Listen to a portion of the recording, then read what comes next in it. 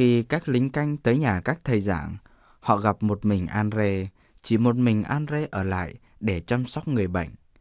Lính đã giải thầy Andre cùng với một cụ già cũng tên Thánh Andre về ngục. Trước hoàn cảnh đó, cha Đắc Lộ yêu cầu sự trợ giúp của người Bồ Đào Nha. Nhưng người Bồ Đào Nha chỉ xin lại được tượng ảnh mà thôi. Vị quan muốn giữ lại cây thánh giá bằng ngà voi để mang đốt đi. Nhưng trưởng đoàn người Bồ Đào Nha cho hay ông nhất thiết cần cây thánh giá đó vì đây là dấu chỉ chiến thắng của con thuyền. Gặp khi phải chiến đấu với cướp biển, thánh giá sẽ giúp các thủy thủ thêm tin tưởng và can đảm. Và vì thế, vị quan đã trả lại thánh giá cho ông. Thế nhưng, việc can thiệp cho Andre thì không có kết quả. Chỉ mình cụ già, vốn cũng bị án tử hình, nhưng vì có con cháu nên được khoan hồng. Quan nói về cụ già Andre và thầy Andre rằng, tên già này tuy có những lời lẽ ngu ngốc đối với ta, như hắn nói, thà bị giết bốn lần còn hơn là bỏ đạo, nhưng ta vẫn tha cho, vì hắn đã già và có nhiều con cái, để hắn sống thêm chút nữa cùng con cái. Nhưng cái thằng trẻ cứng đầu sắc sược này đã dám trả lời sắc sược.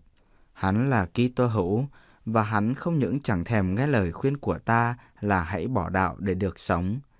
Hắn lại còn khăng khăng thà chịu chết chứ không bỏ đạo. Hắn không được khoan hồng mà bị xử tử vì chính hắn muốn chọn cái chết hơn là bỏ đạo. Về phần cha Đắc Lộ, cha biện hộ rằng mọi trách nhiệm đều do cha chứ không phải do các tín hữu. Nhưng quan đáp lại, cha Đắc Lộ là người ngoại quốc nên phải rời xứ này. Nhưng tên thanh niên này là người dân của chúng tôi và vì hắn quá cứng đầu và vì hắn vẫn khăng khăng trước mặt tôi là không chịu bỏ đạo thì hắn sẽ bị xử tử ngay trong ngày hôm nay. Dưới con mắt của quan, thái độ của thầy Andre là hành động phá quy luật xử thế nền tảng thời đó. Quy luật ấy đòi buộc người trẻ phải biết im miệng trước người lớn tuổi hơn mình hoặc trước người chủ của mình, cho dù mình có lý chăng nữa. Truyền thống dạy người thường dân phải vâng phục, đặc biệt qua cách ăn nói ứng xử trước tầng lớp quan lại cao cấp. Trái lại, lòng dũng cảm Kitô giáo làm cho Andre trở thành một con người dù thuộc phần đáy và ở ngoài lề xã hội, vẫn có khả năng ngẩng cao đầu trước những quan tòa vừa là kẻ phán xét, vừa là đao phủ giết mình.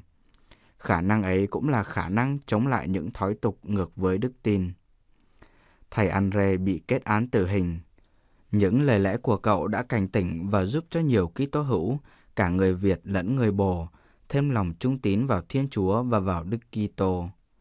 Cha Đắc Lộ đã có thể đồng hành và an ủi người học trò của mình trên đường ra pháp trường tại thủ phủ Thanh Chiêm ngày 26 tháng 6.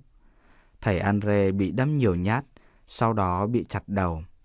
Cha Đắc Lộ thuật lại, cha đã nhắc đi nhắc lại với những người khác là phải chạy trốn, chứ đừng ra trình diện với chính quyền. Bởi vì tử đạo là ơn phúc của Thiên Chúa, chứ không phải là hoa trái của lòng dũng cảm.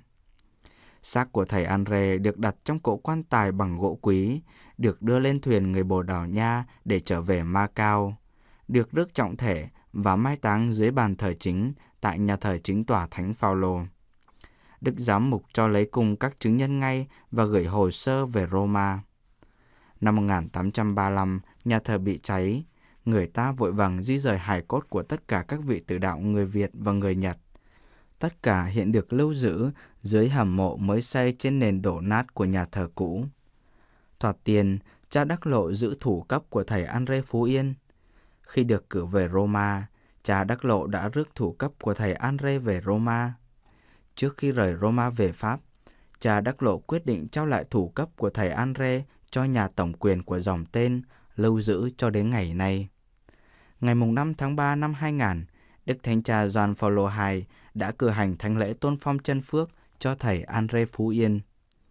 Về phần cha Đắc Lộ, giờ đây cha ấy được lệnh dứt khoát của chúa Nguyễn là phải theo thuyền của người Bồ Đào Nha rời đất Việt. Thế nhưng cha Đắc Lộ đã quyết định không thể bỏ mà phải trốn ở lại với đàn chiên của mình. Cha Đắc Lộ bước lên thuyền trước mặt mọi người, nhưng khi thuyền đã rời bến được ba dặm, cha Đắc Lộ chuyển sang chiếc thuyền con và trai đã dặn kẻ giảng đưa thuyền con ra đón mình. Như thế, cha Đắc Lộ có thể trở lại vào bờ. Cùng với chín thầy giảng, cha ở lại trên thuyền, đêm đêm đi thăm và ban phép bi tích cho các bồn đạo. Trong lúc đó, cuộc bách hại vẫn tiếp tục diễn ra. Người ta chủ yếu lục soát ảnh tượng Kitô giáo và tra tấn Kitô hữu để họ giao nộp ảnh tượng. Trong một đêm nọ, cha Đắc Lộ đã có thể đi thăm 35 tín hữu trong tù và ngay cả cùng dâng lễ với họ. Khi vị quan cầm đầu hỏi ai là Kitô hữu, thì đông đảo tín hữu tranh nhau giơ tay lên. Quan chọn lấy 36 người để giải đi, chỉ có một người trong nhóm bỏ cuộc. Sau đó quan lại chọn lấy 6 người trong nhóm 35 để cạo chọc đầu và mang ra đánh ngoài công trường Thanh Chiêm. Cha Đắc Lộ kể lại, cả nhóm giành nhau để được chọn. 29 người không được chọn, tỏ ra buồn bã. Cha Đắc Lộ phải an ủi họ rằng, có ý hướng tốt là cũng đủ để Thiên Chúa chấp nhận.